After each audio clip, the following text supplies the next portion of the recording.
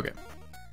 So, I'm going to make a pretty standard, just basic uh, overall explanation of, of some of the, the starting points of, of modding Dark Souls 3. Um, just kind of talk about some of the basic modding tools and the basic like file types and file locations, that kind of stuff. Um, obviously, there will be some stuff left out because I'm kind of just poking at the most basic of stuff.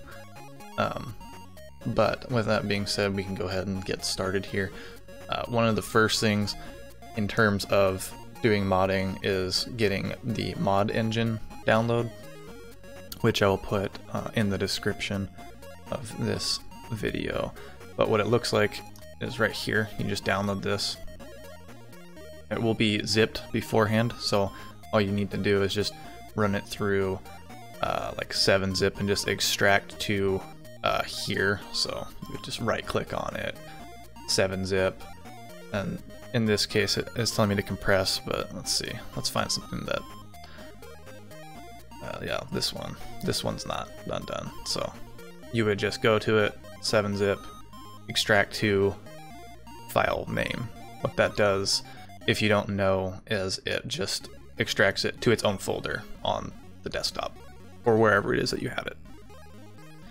So if you downloaded mod engine, you would just open it up, go into the file. Here's everything that you need in there. There's the mod engine, there's a readme if you want to read it, there's the DI input 8. Um, to make any of the mods that you install work, you would just take these two bad boys right here, and you would come drop them into your game directory. So you'd go all the way up to your game folder, not the executable, just the game folder, and drop those both in there. As you can see right here, I have the input, and then down at the bottom, there's the mod engine. The way the mod engine works, here, we'll give a we'll give a brief overview of that. The way the mod engine works is it will do a couple of things for you here. Like it'll keep you from being able to go online so it doesn't connect to their servers and give you a, a ban uh, if you're worried about that. Um, if you want to play online regardless, you can go ahead and just replace block network access equals one with zero and then save it. That's all you gotta do. Save file. This just sets it up to use an alternate save file so that when you do go back online, it doesn't try and read from your mod files. You can change that to do that or not do that depending on how you have the number set here. I personally don't care, so I just didn't touch it. Files right here, this just loads, uh, loads loose params. Um, not really too big of a deal. Um, if you don't know how that works, doesn't matter. Um, right here, load loose files, and then this one's honestly just the most important. Uh, this one right here, the override directory being enabled or disabled, and then this right here is the override directory, which is just a file name mod. You can make the file yourself if a mod that you download already has that.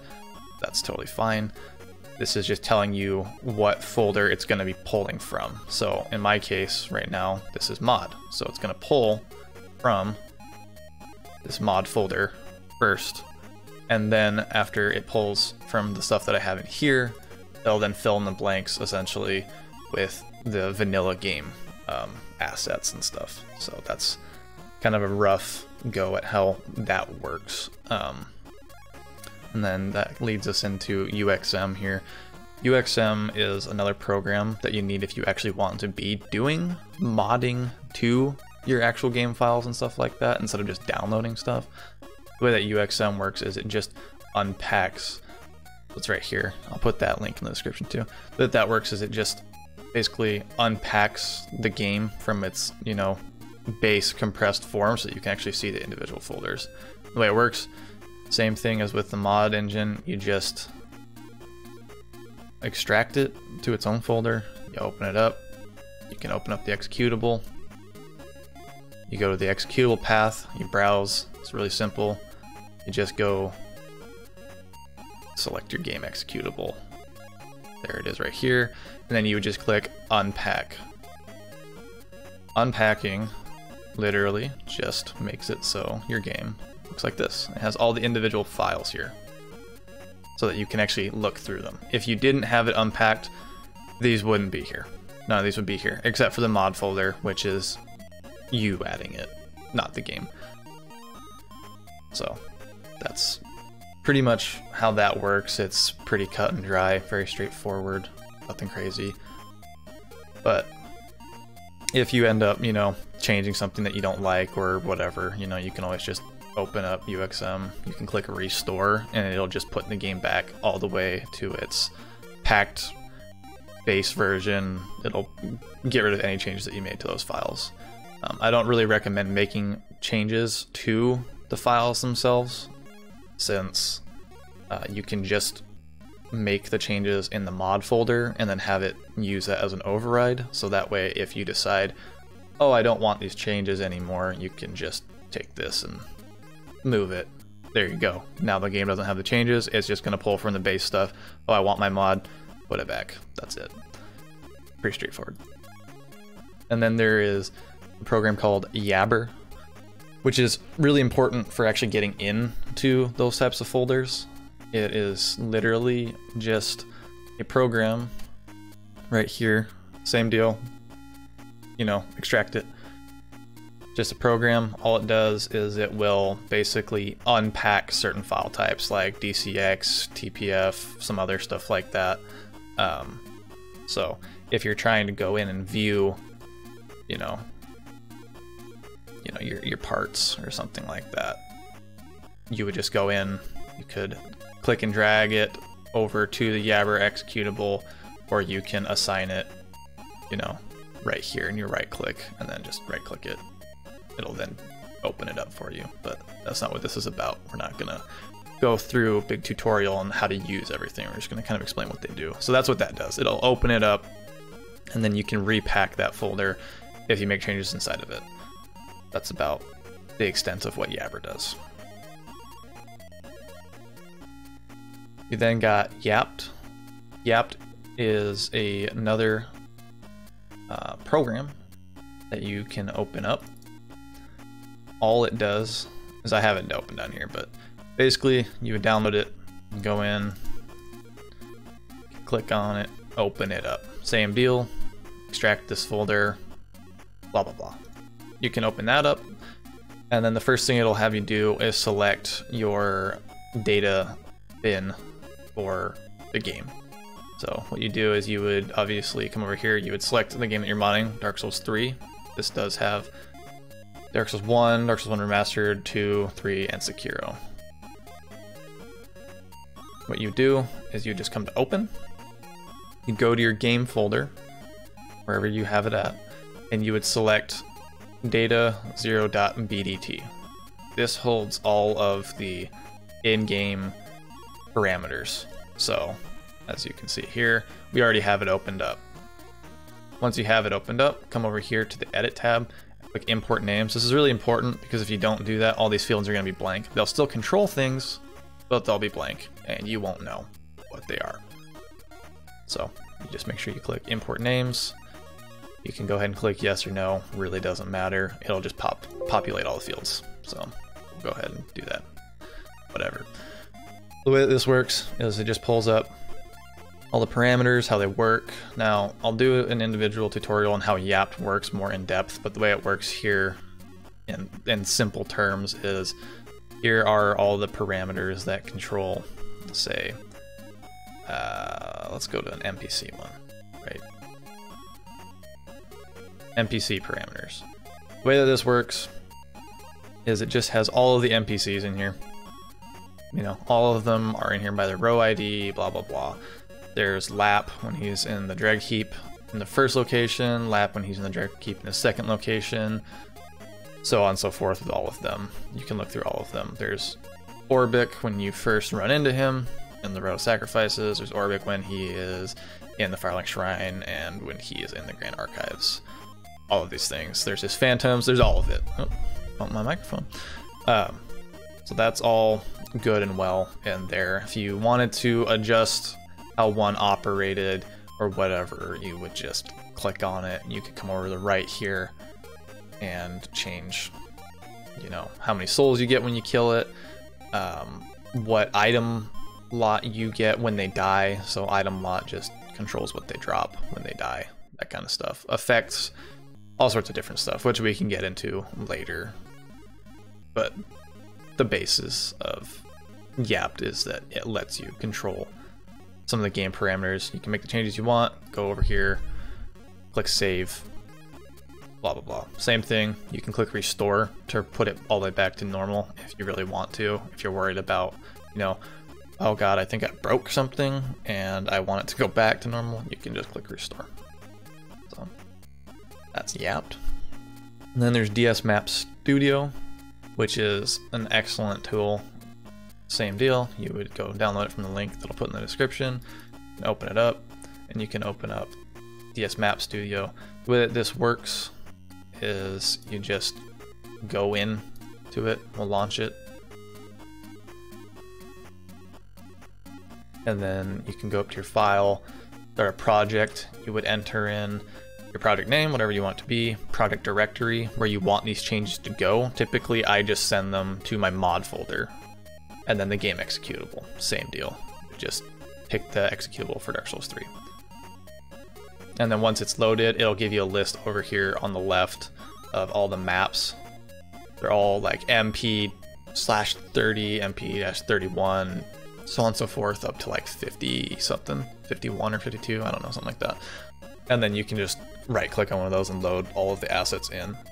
Um, I'll do a tutorial on how to use kind of Map Studio in its basics, you know, once we get through, just explaining how they work.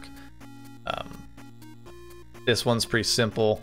You open up a map, you can go and click on, you know, an asset or like an enemy, say, uh, and you can just duplicate it. So if you want to, you know, make there be 20 of the fucking hollows right in the very beginning of the game that are guarding that S the Ashen Estus flask and just duplicate that enemy a bunch and just have them sit there, have there be a ton of them, you can do that. You can go in, you can change just where enemies are placed if you want to. You can uh, go in and just basically fuck with some of the models, move some of the stuff around. There's a lot more in-depth stuff to it, but basically it's just actually messing with the, the game world itself. And then basically those, those those are all of the types of tools for basic stuff. Um, I can go over some of the more advanced stuff, but I myself don't actually know a whole lot about the advanced stuff. I just started learning myself, and I didn't see a lot of tutorials for this kind of stuff, so I figured I'd throw my hat in there and try to help add to that list of tutorials, explaining how things work a little bit. Um, We'll go through the basic file types really quick for the game, just to kind of make sense of some of the stuff. So here's the game folder. If you have it unpacked, this is what it'll look like. You've got character folder here. This is where all the character models like enemies, NPCs, all that kind of stuff. Those will all be in here. It's almost all, if not all of it, is DCX files, which you can use Yabber to unpack and then get into if you so choose. And then we got stuff like map. This is what just holds uh, all the maps, holds the map data. The map itself, all the assets in it, models, like where that kind of stuff is at and located in those maps so that the game knows how to populate it. That's basically what this is. Um, we got menu menu itself holds uh, things like icons for your weapons, um, your armor. So like if you're looking at it in your inventory, it's got the little picture showing what it is.